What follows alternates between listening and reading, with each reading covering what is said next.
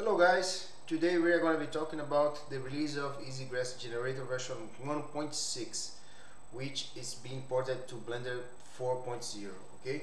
In this version there's not that much new things in terms of uh, the overall look. Uh, I, have been working a bit on the material of the grass and uh, some other uh, little things that makes the grass looks more realistic but the main point of this uh, release is that uh, right now you have more consistent uh, texturing changing okay? And uh, also it's a missing it's a, it's something that was I was missing after I, I use these two daily on my work and uh, at daily basis. And I will show you what is that okay so this is our grass generator right? Let's remove the optimize viewport. Okay so you can see now our, our grass is here. Okay. Let's play around with this world. Let's bring this world shader a bit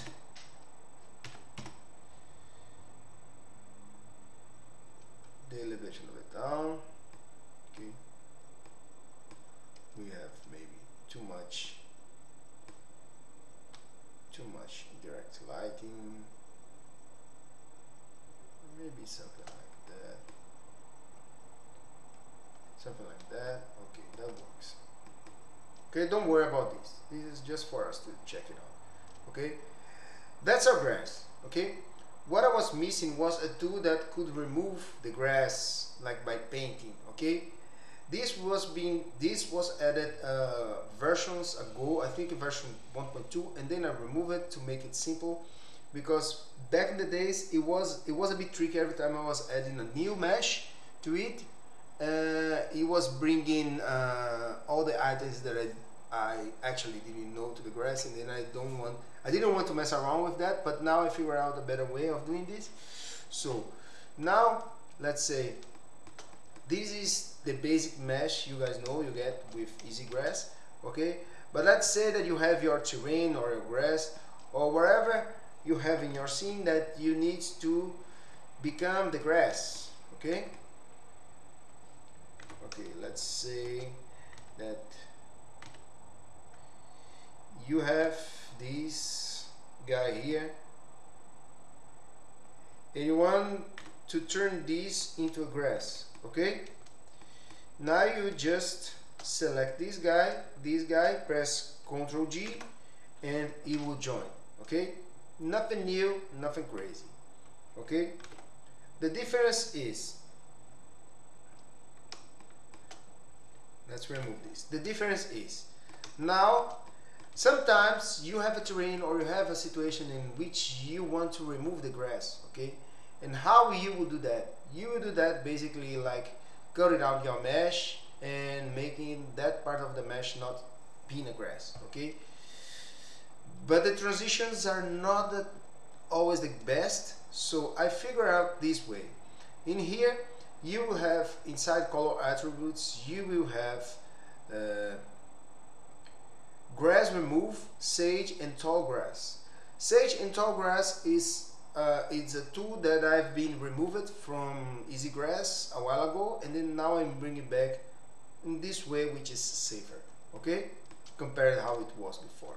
So in order to remove the grass where the grass is you just need to go to your vertex paint okay?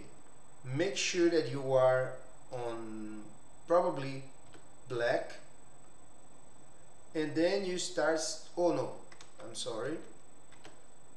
You have to go to your grass remove color attributes and then you go to your vertex, vertex paint. And then you will start to remove your grass okay? And more you have your mesh divided you have uh, let me show you more you have your mesh divided okay? If it's more divided than this you have more control over your vertex painting okay? Let's maybe just subdivide this a bit. Two times more just for the sake of showing here okay? Alright so in this case if you go to your render you see that now after you remove your grass from the from some areas it kind of becomes the ground texture okay? Which is here the ground material okay? And here is the grass material. So that's what happens when you remove your grass okay? So and then you can go painting like removing your grass controlling the strength here. Maybe you don't want to, rem to remove that much just a little bit okay? And you can go and keep kind of creating something nice. Now you can do that okay? And also another thing that you now can do is kind of adding sage and tall grass. Those items here sage and tall grass let me show you okay?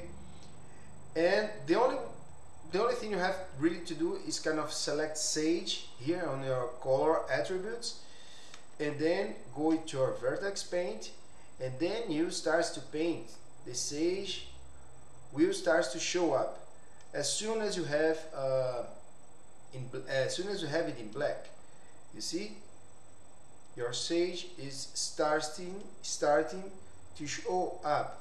It's it's too little sage? Yes it's too little sage. Let's increase the density and put maybe uh, 50 and then you see you have more sage and put a scale maybe 1 so now we, we have more sage here. Maybe we put this density crazy like I don't know 200 okay? Now we can see more. Okay? And the same thing. If you are in the sage to delete these guys is just to press X so you change to white and then you paint them out. Alright you keep painting the sage out and the sage is gone. Until the sage is gone. Okay if you want to remove quickly you put the strength higher and then you remove it. Okay? And the same thing for the tall grass. If you press the tall grass and press X and bring it to black okay? And you can start to paint okay the tall grass all over the places okay? And you have the same settings here tall grass density let's put 200 you see? Now you have the tall grass here you can make it even taller playing by the scale okay? And voila the same thing if you want to remove it just press X move it to white and then remove it and if you want to bring your grass back from those areas which are empty you just go here into your grass remove make sure that you have all in white and then bring your grass back. Okay? And then you have your grass all over here. Okay? I will recommend you for the sake of uh, optimization of course because you have a scene and you have huge amount of grass in your scene like always use that on a viewport optimization. And then you know where the in, in the case of the grass where it's black this means that there will no there will not be grass here. So you can paint as much as you can okay?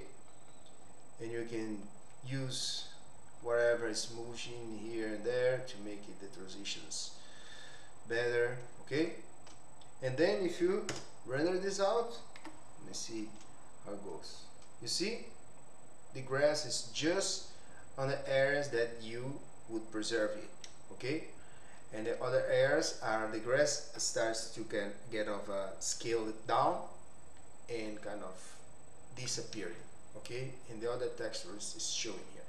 Those are the ground extras which if you don't want to see them you can always remove it from here grounds extra off and then you can render again. You see there's no ground extras you guys know how it works okay?